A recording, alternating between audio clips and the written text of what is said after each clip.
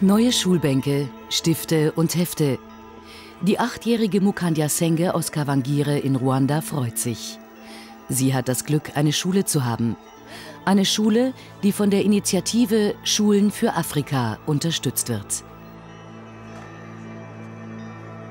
UNICEF, die Nelson Mandela Stiftung und die Hamburger Gesellschaft haben die Kampagne ins Leben gerufen, um Kinder in zunächst sechs Ländern in die Schule zu bringen. Vor allem die ärmsten Kinder und Waisen sollen eine Chance auf Bildung bekommen. In den Ländern südlich der Sahara geht nur jedes zweite Kind zur Schule. Besonders auf dem Land sind die Schulen oft überfüllt und schlecht ausgestattet. Die Lernsituation ist katastrophal. Viele brechen die Schule vorzeitig ab.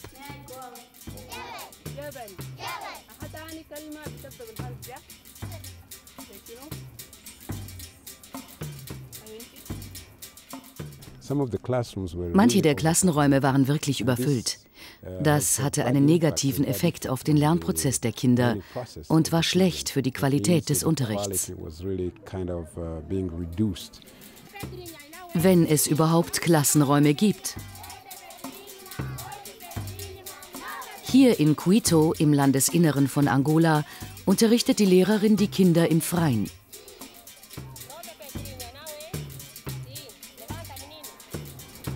Nach 30 Jahren Bürgerkrieg sind weite Teile des Landes zerstört.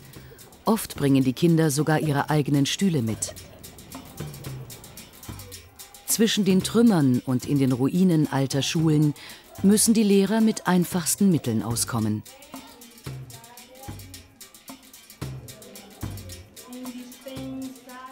Hey, a falta wir haben keine Möbel, keine Pulte, keine Toiletten. Und wie man sehen kann, hat die Schule keine Fenster und keine Türen.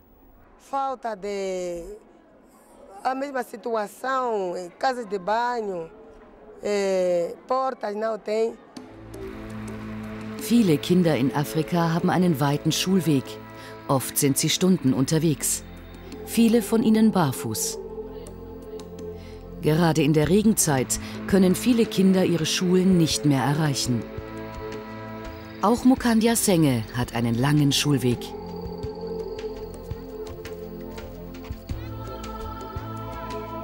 Die Achtjährige schlägt sich allein mit ihren beiden Geschwistern durch.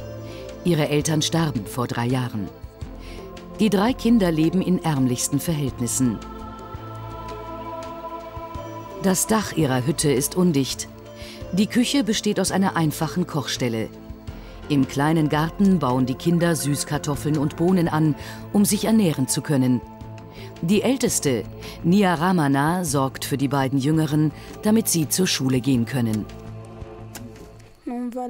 Ich glaube, es ist wichtig, dass die beiden zur Schule gehen, damit sie es später einmal besser haben können. Nur Bildung bietet den Kindern eine Chance, den Kreislauf aus Armut, Hunger und Chancenlosigkeit zu durchbrechen.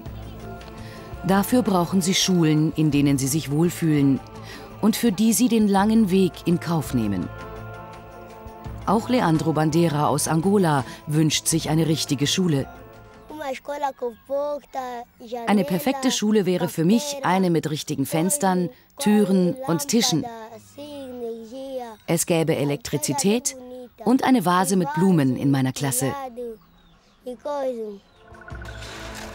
UNICEF unterstützt den Bau und die Instandsetzung von Schulen, vor allem in entlegenen Gegenden, dort, wo Kinder bislang gar nicht zur Schule gehen konnten. Die nächste Schule, die fertig wird, ist in Kigeyo in Ruanda. Eltern, aber auch bezahlte Bauarbeiter helfen mit, dass hier im neuen Schuljahr unterrichtet werden kann. Die Initiative Schulen für Afrika will die Schulen kindgerechter gestalten, damit mehr Kinder die Grundschule abschließen und damit sie wirklich etwas lernen. Dazu gehören neue Bänke und Tische, aber auch sanitäre Anlagen. Besonders wichtig sind separate Toiletten und Waschräume für die Mädchen. Ohne sanitäre Einrichtungen kamen Mädchen oft gar nicht mehr zur Schule, wenn sie das erste Mal ihre Periode bekommen hatten.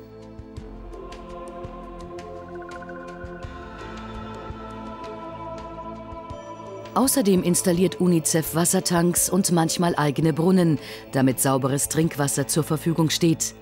Ein zusätzlicher Anreiz, die Schule zu besuchen. UNICEF unterstützt eigene Clubs der Kinder in den Schulen. Dort wird Solidarität geübt. Die Schüler sammeln kleine Beiträge für die Ärmsten ihrer Mitschüler, damit diese sich die Schuluniform und manchmal auch nur etwas zu essen leisten können.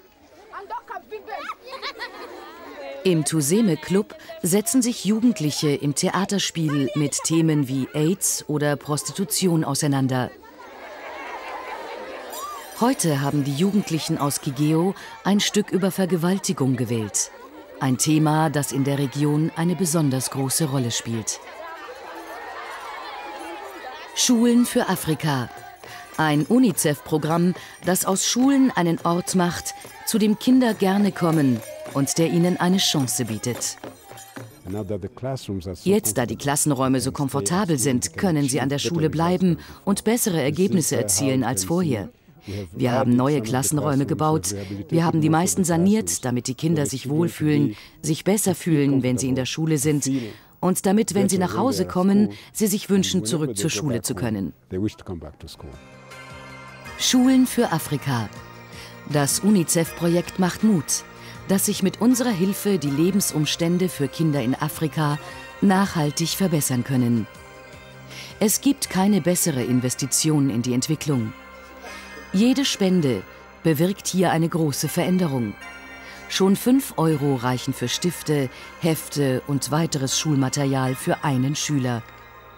Jeder Beitrag ermöglicht Kindern wie Mukandia Senge eine Chance auf eine bessere Zukunft.